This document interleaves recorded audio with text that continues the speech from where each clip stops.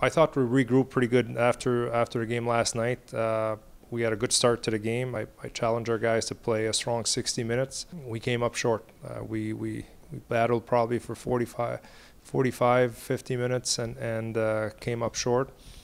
You, you, you got to play your best when your best is needed, and, and we couldn't come up with that big play in the third. It was a good game, um, but we got to learn to play the right way uh, a full 60 minutes. Um, that's what uh, cost us the two points.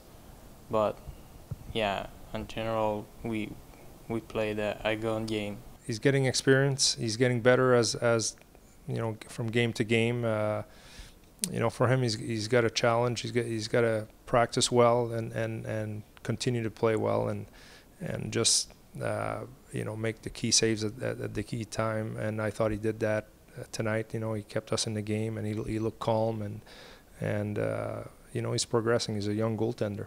You know, I thought he challenged the shooter re- real well. Uh, he was confident, came to the top of his crease, and, and, and made a made a key save at the right time. I challenged him, and I, I let him uh, do the the first uh, the first move, and so I saw he was going on on my left, and I just put my glove forward. Yeah, I got it.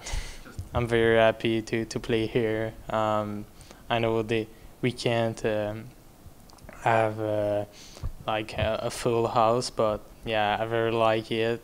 I like to to win a a win at home. It didn't happen yet, but I, I hope it's gonna be soon.